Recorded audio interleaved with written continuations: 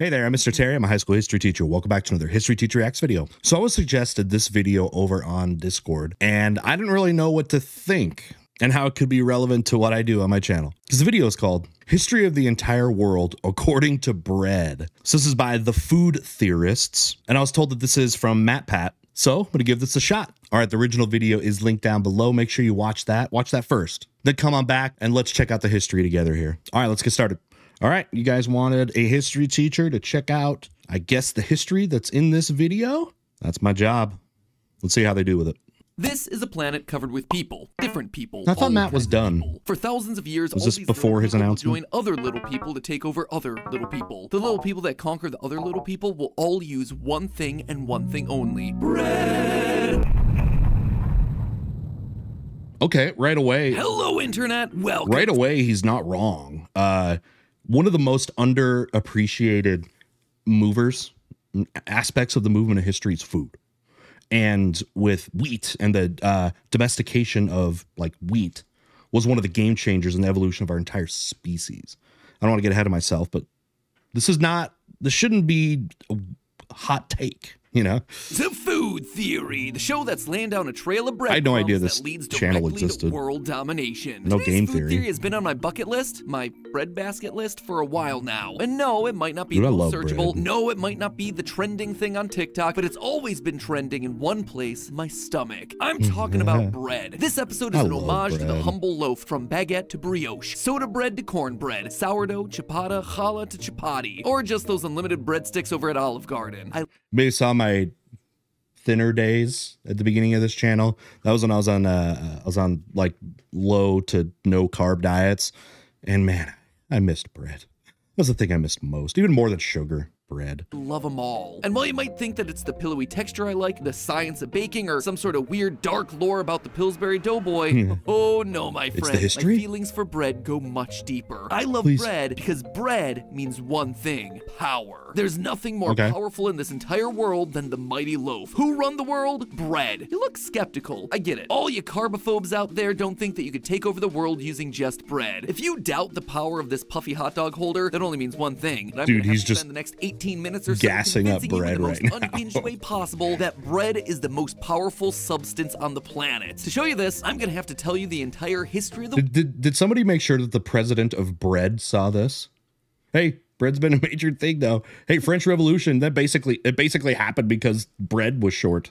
world in bread. By the time we're done, you'll not only have a new favorite food, but you'll know how to use it to conquer the world. Grab a slice for the road, everyone, because this one is gonna be a You'll go make some Now, if we're talking about bread conquering the world, we're gonna need to get a little handle on the world itself. So for all of you who weren't finalists in the geography bee in high school, congratulations on doing literally anything else. I got you We're covered. just gonna catch you up here. I'll help you this up, too. is the world, Okay. and this right here, that's me showing you how to conquer the whole thing with. Baguettes. Your next step will be to forget everything that you learned in 12 years of history class or whatever. The only thing that you No, really need don't to do that. understand about history is bread. Bread, like all of us, starts from humble beginnings here in Mesopotamia. Mesopotamia, where it's 30,000 years ago and bread isn't bread yet. It's instead just some random seeds of grain. Here we are, a little So bread was uh, bread, uh, wheat, and and ancestors. We understand that thirty thousand years ago, what we consider wheat today, you know, to make bread, was not like it is today.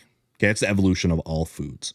But there in the between the Tigris and Euphrates, Mesopotamia, one of the first places to domesticate food. That was a game changer for human society because um, for much of the world, uh, people were hunter gatherers. Nobody stayed in one place. And the big reason for that is plants, right? And what today would be like our, our grains and stuff um, had not been cultivated in the way that it is today. So it wouldn't be possible to live in one place. But as better seeds are identified, and then you start to get experimentation, and those seeds get better and more nutritious, and you get higher calories per acre from your yields, it allowed people for the first time in history to live in one place.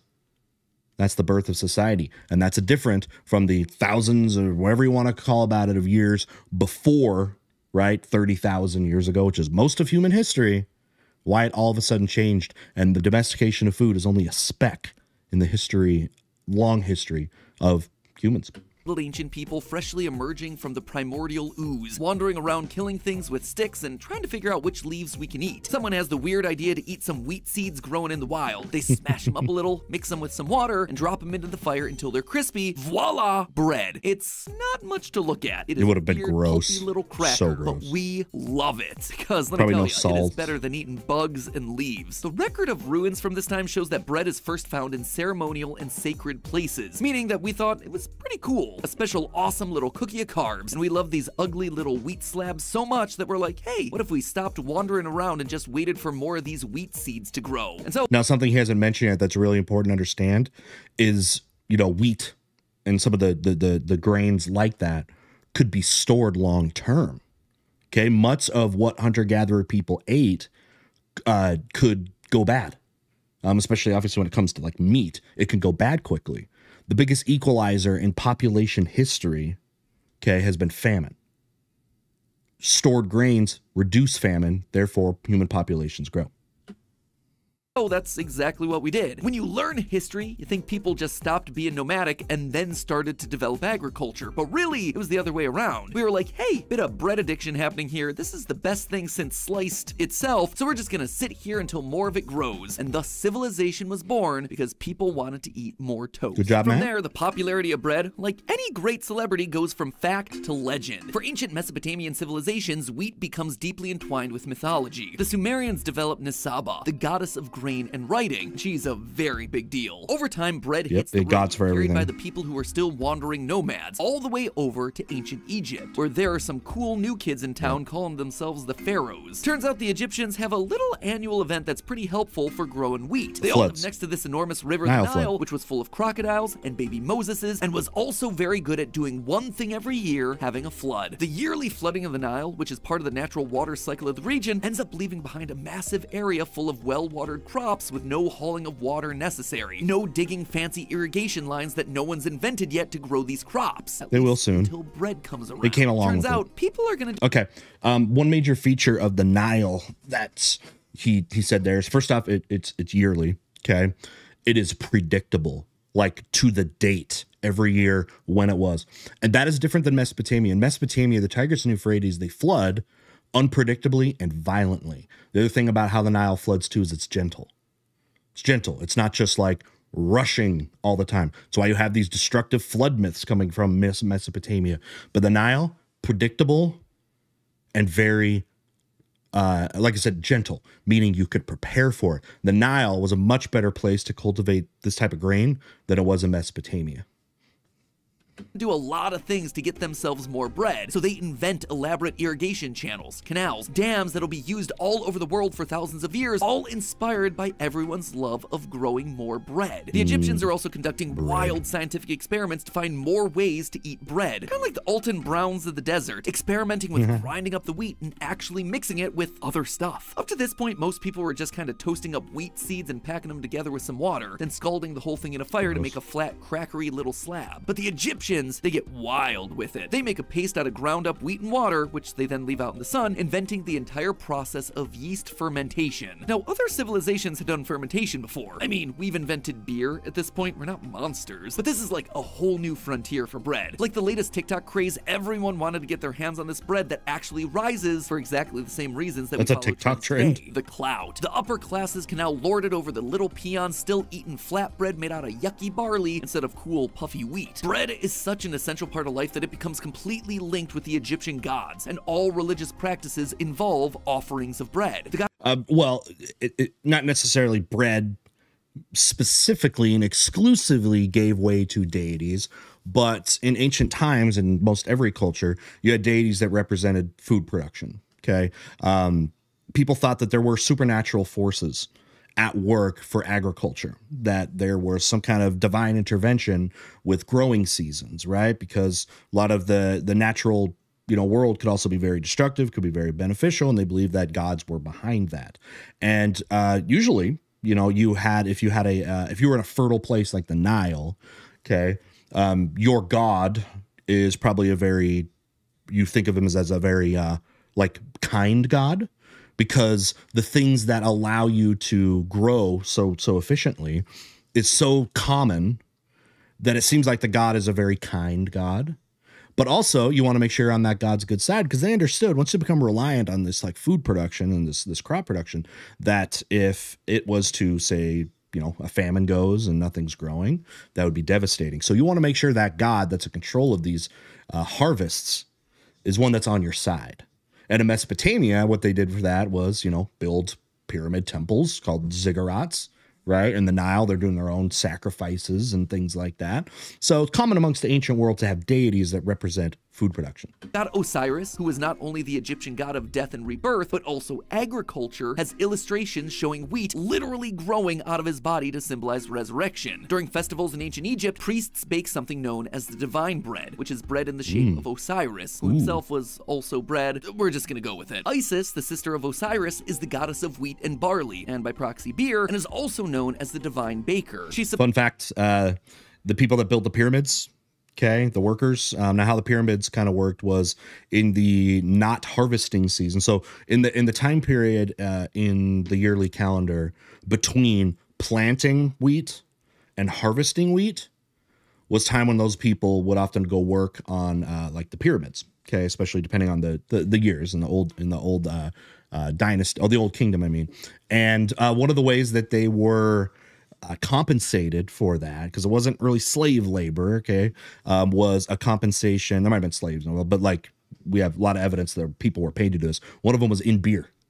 Beer was uh, we've seen was one of the currencies to compensate people that working on the pyramids supposedly Get responsible for teaching mankind how to make bread, really shafting the Sumerians who were doing it 20,000 years earlier. Everyone's plagiarizing these days. But not only is bread making mythology happen, it's making everything happen. Want to build a pyramid using slave labor? Gonna have to feed them. Bread's gonna come in handy for that. Want to raise an army? Just tell them to need, pack some bread and a spear. They're good to go. Well. Want to trade with the nations around you? Here's something that might not have been seen before. It's bread. Turns out the Egyptians could grow bread well, and a lot of it, to feed a lot of people. Admittedly, not everyone needed the whole yeast rising process. The Israelites, for example, are like, you guys are mean. You keep your stupid bread bubbles, we got better things to do. And so they take their matzah and flee Egypt. But the rest of the world is like, put that bread in my face right now. Egypt is incredibly powerful because they have the power of the bread. And this will become the and if you control food, you control lives. You control the thing that people need to survive.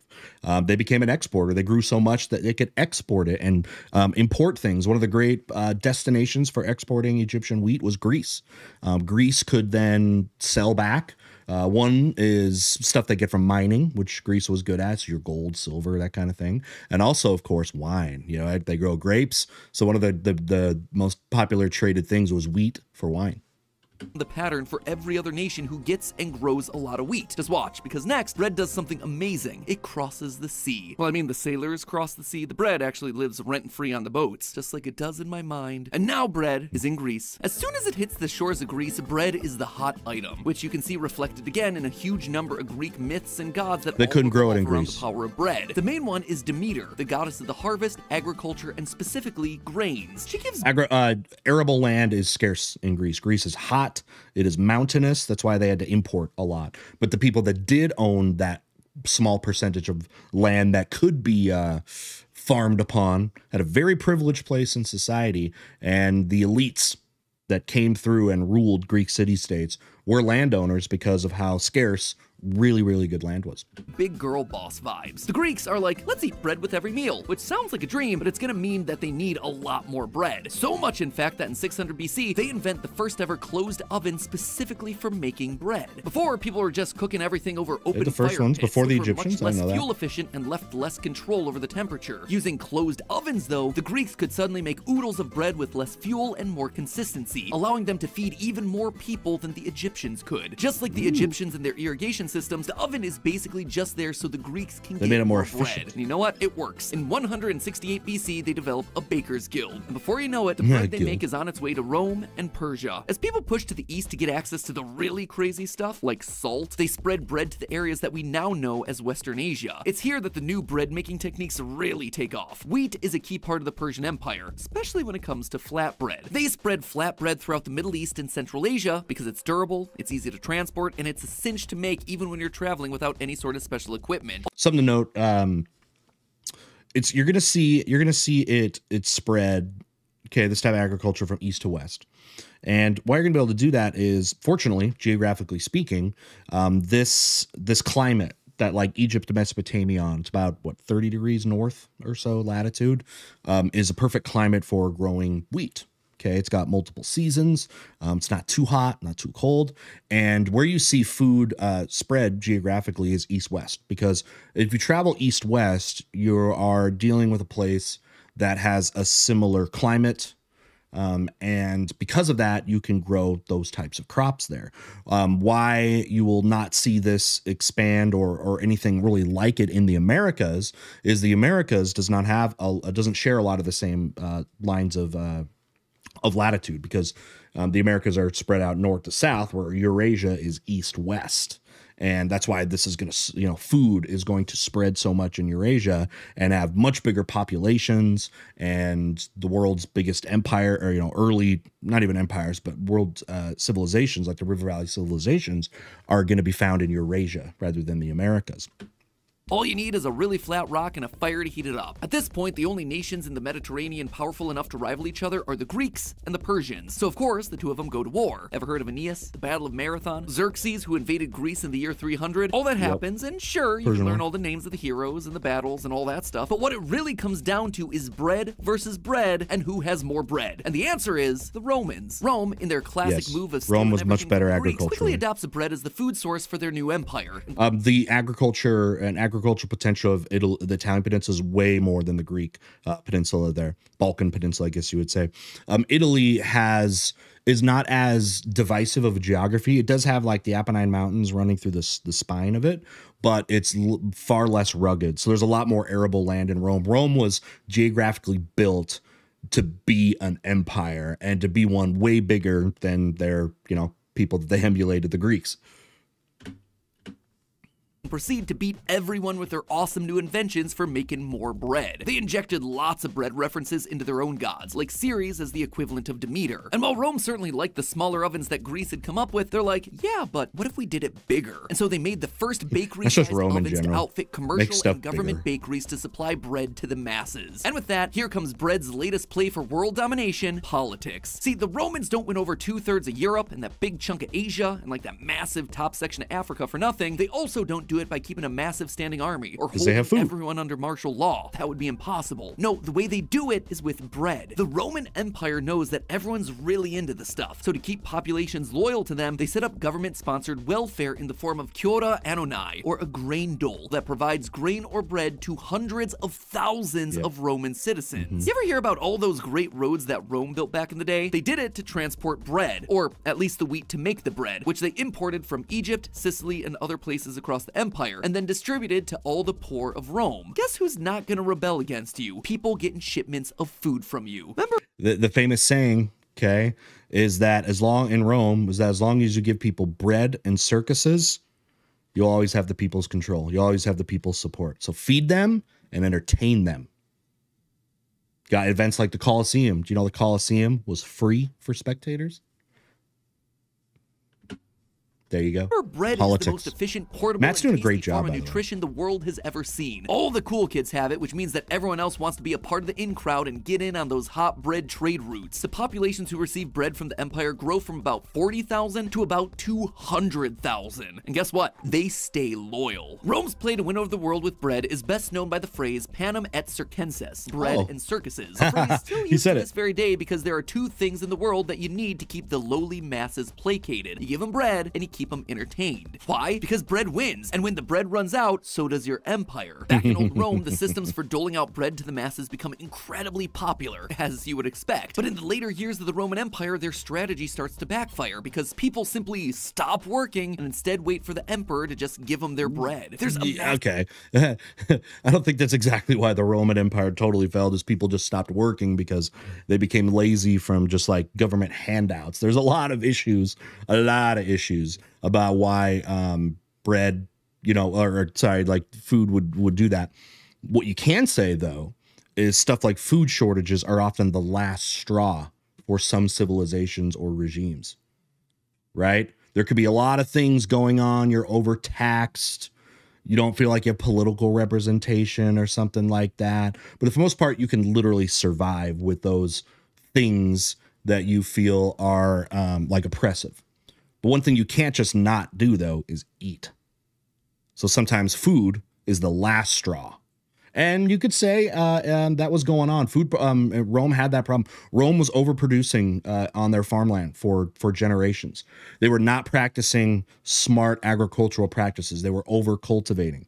Right. It's not till like the Middle Ages where you start seeing like three field farming, where you allow a third of your land to rest to reheal its nutrients right? And they also had slave labor, so labor was very very cheap, so you could just farm, farm, farm, farm, and over slowly, probably almost in, in uh, um, um, you know, imperceptibly.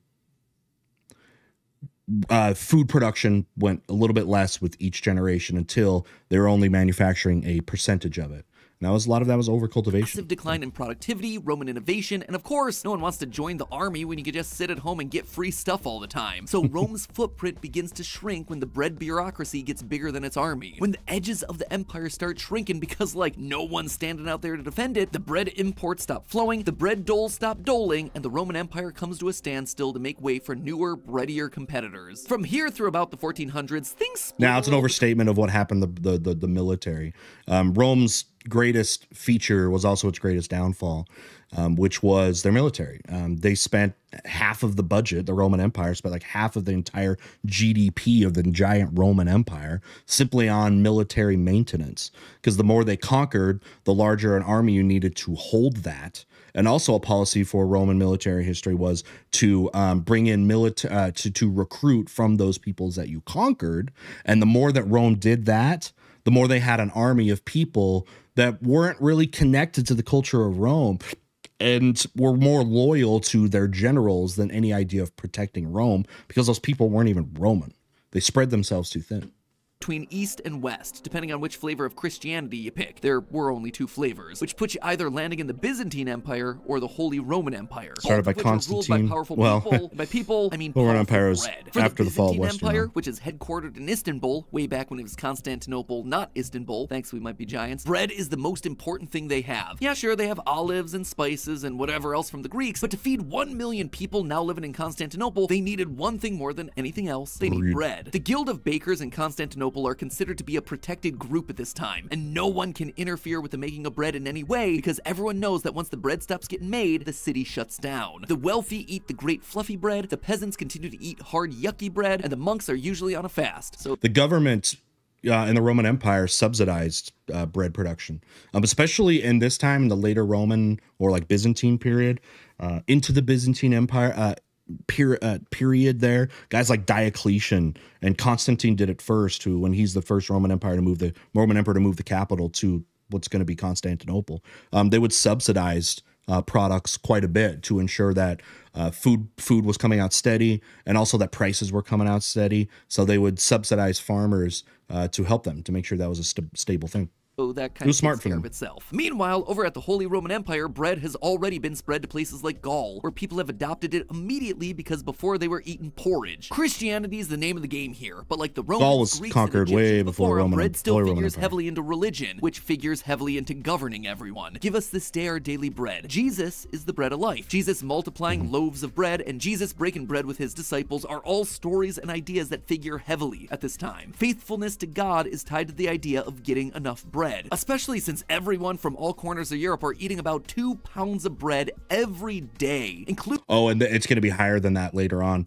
Some cultures are going to be way more than that. It's so dependent on which is a bad idea. You don't want to be completely dependent on one food product because that food product goes away, you're going to starve. Look at like Irish potato famine, or again French Revolution uh, people were eating so much of that that when uh, blight, you know, or uh, whatever the specific thing was that was killing off ingredients to make bread in France, they were so dependent on it that when it went down, people were starving. Including using it as plates, which they call trenches. Bread is so central to both the Holy plate. Romans and the Byzantines that governments like start stepping in to control it using soup? methods mm. like price fixing. They set the price of bread low enough to be affordable, yeah. which was another bread invention that continues to this very Dude, Matt's hitting all the major as points. As you lose the bread, you Does he do a lot of history related videos? After a couple centuries of bad plagues throughout Byzantium, the vulnerable empires left open, and some neighbors start conquering the lands that produce the grain. And you know the story by this point, it's the beginning of the end. Slowly, the Byzantines become disorganized and fall to the Turks, who, surprise, surprise, control the grain making areas of Eastern Europe and the Middle East. So, yeah, I mean, that wasn't that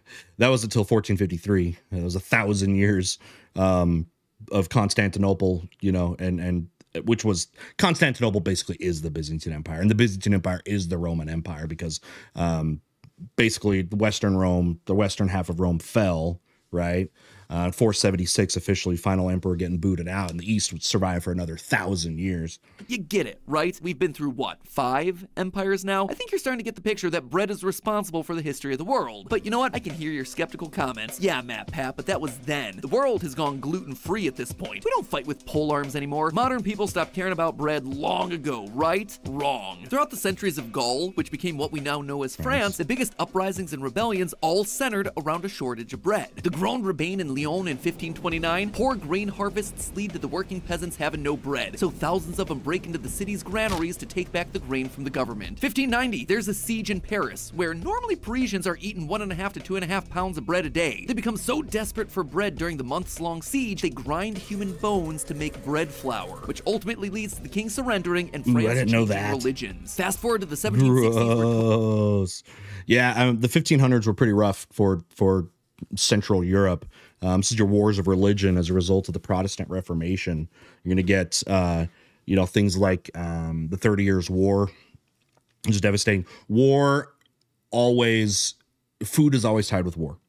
It's one of the things that's necessary for it, and often wars create famines. And if you are totally you know hooked on one type of food and you have a war it becomes harder to produce said food therefore riots you know that can happen all right paris france okay we're leading up to the french revolution bread was a huge part of it. Totally this. unregulated grain production leads to extremely high prices on bread, and people afford start to starve. In 1775, people start rioting for bread. This isn't called the French Revolution at the time, it's called the Flour War, because people are seriously hangry without their baguettes. Yep. 1789, you think the storming of the Bastille was all about getting weapons? It was about getting bread. Sure, the mobs had their torches and their pitchforks, but you know what they were looking for? The royal store of grain. They were Whoa. literally starving. Marie Antoinette is painted as a villain. not as much in the bastille itself bastille they store in the bastille for gunpowder because the king was basically uh fighting against the there's a lot of things we could have fighting against the national assembly and all that stuff um that storming for food was all over the countryside in France. So, you know, with food becoming more scarce, and I remember they're feudal at this time. Most people, 90% of people in France were peasant farmers, um, totally reliant on their lord to provide said food. And as food was becoming scarce because of the famines going on, uh, especially in the 1780s, it was really bad in the 1780s. Uh, people on the verge of starvation were storming the homes of nobles because they, they they thought that nobles were hoarding food. So they would go attack them violently in a lot of cases. It killed a lot of them all across the countryside while you had the political upheaval and of course the, the starvation in Paris itself. But yeah, they were storming all the nobles for for food there because French French diet was so dependent on bread. She hears about the flour shortages and famously says, Let them eat cake." de la brioche." Probably never said that, mean let them eat by the way. cake. It actually means let them eat brioche, which is a luxury And- form of enriched bread because bread is still considered Probably never said that. There's no good evidence eating. for it, She probably didn't even actually say this, but the power of a statement about bread is the single most famous and inflammatory quote to come out of the entirety of the French Revolution. But maybe it's just France, right? They're a bit nutty for their bread. Madame no, Deficit. not by a long shot. Time right, to check in on another famous empire, the British. British? Sorry, Tom, she's included here as well. The British Empire, famous for taxing early American colonists on tea, are actually plagued with another big problem in the years leading up to the American Revolution bread shortages. While not as famous as the Boston Tea Party, in 1775, thousands of poor American colonists protest from Philadelphia to Salem about the shortages of grain and the incredibly high bread prices, most of which are controlled by the British government. Yeah, uh, the, the American colonists were bound to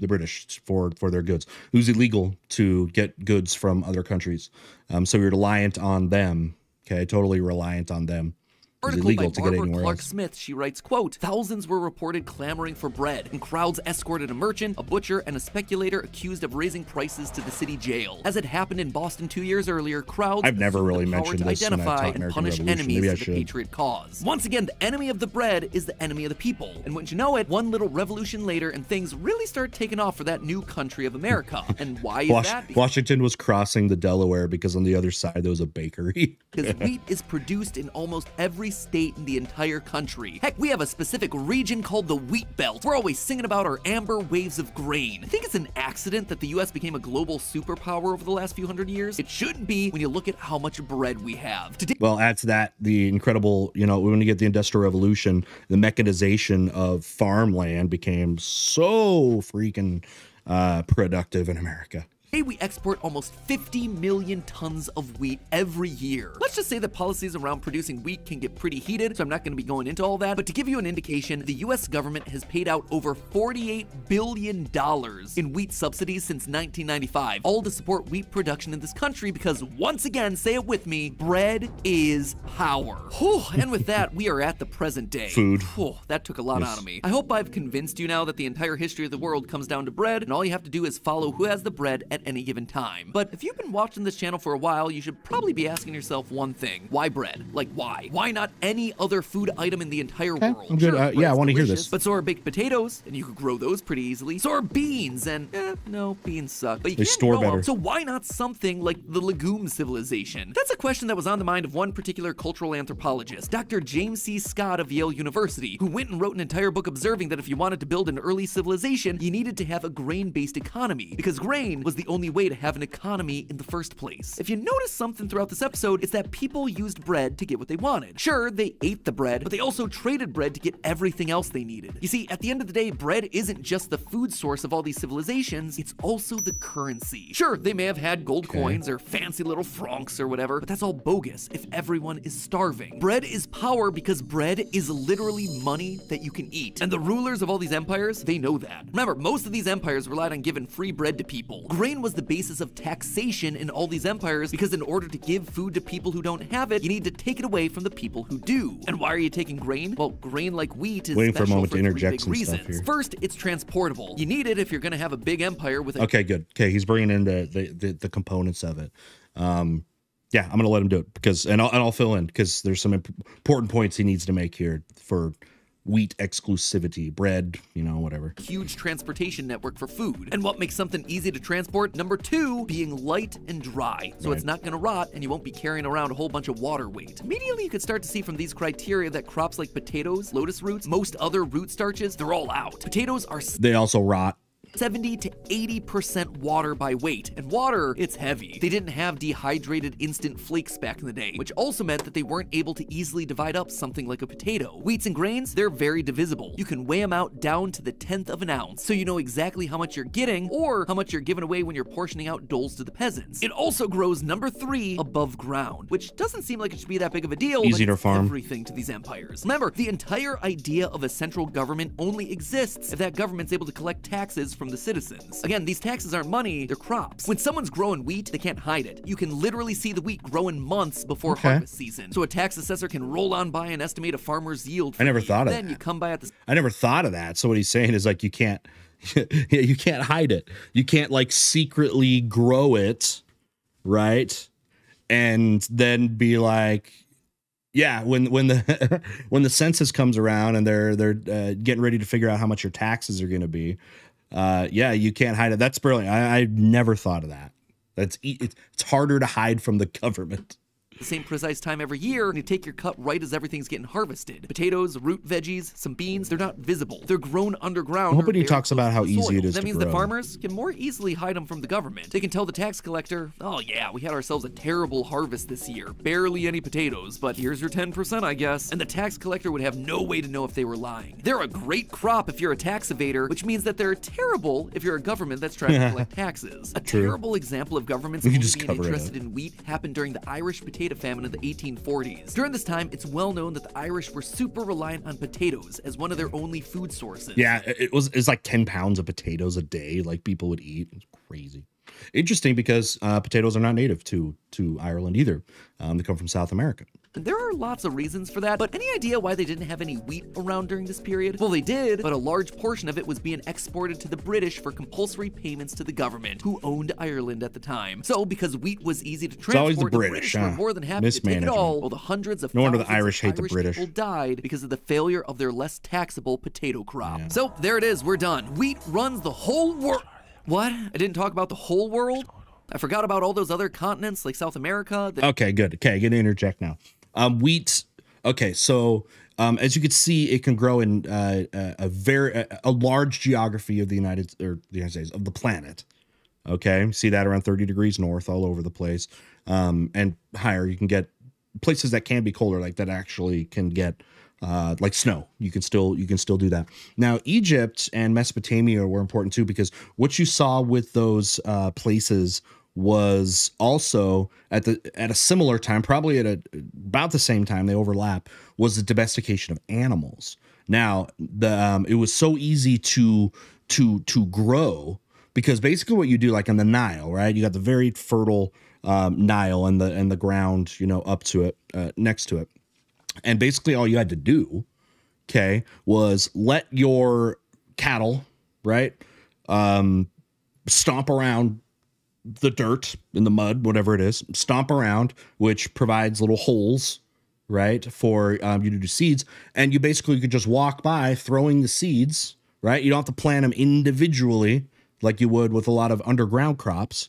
You could just throw them out, right? Throw them out there, and and and the animals bury the seeds pretty much and then you know smooth it out or whatever and then you grow. It was very easy to grow. So you saw this grow and it's it's no wonder why wheat started also in the same places where the world's uh, best domesticated animals that were used for agriculture there you marry those two together that's why you get that wheat explosion in the places that it did the entire eastern part of Asia, most of the continent of Africa, all of Australia. Yeah, you're right. I didn't. I didn't actually forget about them, but I did focus on the areas of history that this audience is probably most familiar with. But that's not nearly the end of the story, so here's how the mighty bread plays out in the rest of the world. The secret, friends, is this having wheat in your country isn't about being smarter than other countries around you. It's not about having better weapons or more technology or Geography. whatever. It's all luck. The reason Central and Southern Africa didn't figure heavily into the bread wars over the last few thousand years is that these areas weren't well suited for growing grain. anybody getting uh okay if you took if you took um probably a, a basic freshman level world history class okay in college i'm trying to look for it probably read uh guns germs and steel right guns germs and steel which talks about this rains. Wheat, as it turns out, is a little bit picky about where it grows, and it needs temperate climates and loamy soil. That's great if you're in the Fertile Crescent, but crummy if you're in the Ivory Coast. If you look at the world map of where grains grow on this planet, you'll notice a few conspicuous absences. It's within about 20 in a degrees of part South and Central America, as well as a huge portion of the African continent, northeastern Asia, and in Central Australia. Primarily because most of these places, they're too hot. We can see that these areas won't be able to come into power using bread alone like us cheaters in Europe, North. America, and Central Asia. Their stories play out much like our own, only using a different cereal crop, corn. Corn, or maize, if you're not speaking American English, was a staple crop of Mesoamerican civilizations over yonder in Central and. South mm-hmm. America. As we've said repeatedly throughout this episode, the history of civilization is really the history of grains. Again, offering those He's definitely read Guns, Germs, and Steel. grain. That has it's easily used it. it's easily measurable, and it's clearly visible to keep farmers from evading their taxes. And much like the Greeks and Romans infused wheat into their mythology, Mesoamerican mythology swaps Corn. all of that out with corn. The Aztecs had Centeotl, the maize god, who we see surrounded by corn, while the Mayans take the idea of grain, and specifically maize, and turn it into the building block of human civilization. you can see it's the same thing that happens whether it's food product it ties to religion.